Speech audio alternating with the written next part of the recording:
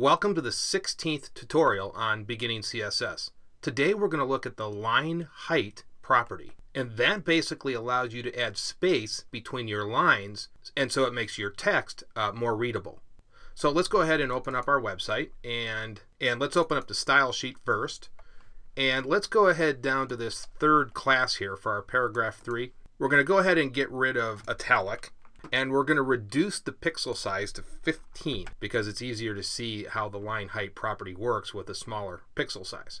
So let's go ahead and save this.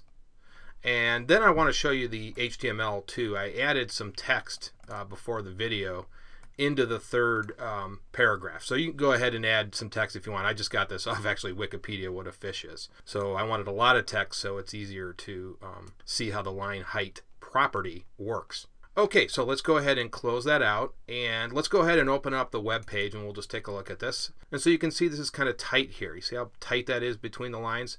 So we want to add some space in between all these lines. So let's go ahead and do that. let's close this out. And what we're going to do is we're going to go down here and we're going to type in line hyphen height. As usual, we need a semicolon. Now, you can specify this in pixels, EM, or percentage. And that's what we talked about in the last video, of course, so you should know what those are. We're going to actually scale this, so we'll use the EM, and we're going to go ahead and make that 1.5. And let's go ahead and save this now. And let's go ahead and open up our web page. And you can see we've got more space now. That's a lot more readable than it was without the line height property.